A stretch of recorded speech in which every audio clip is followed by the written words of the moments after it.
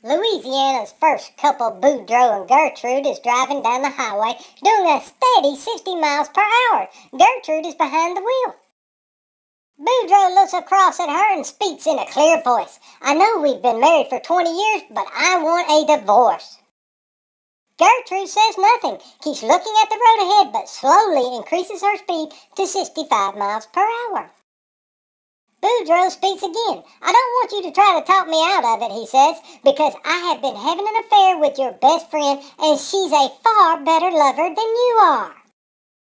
Again, Gertrude stays quiet, but grips the steering wheel more tightly and slowly increases the speed to 75 miles per hour.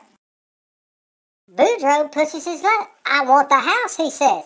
Gertrude speeds up to 80. I want the car too, he says. Now she's up to 85 miles per hour.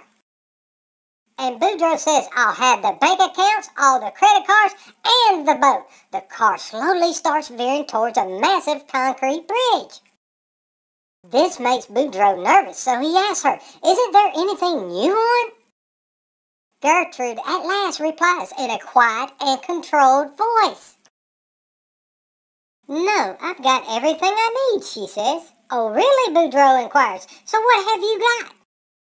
Just before they slam into the wall at 85 miles per hour, Gertrude turns to him, smiles, and says, The airbag.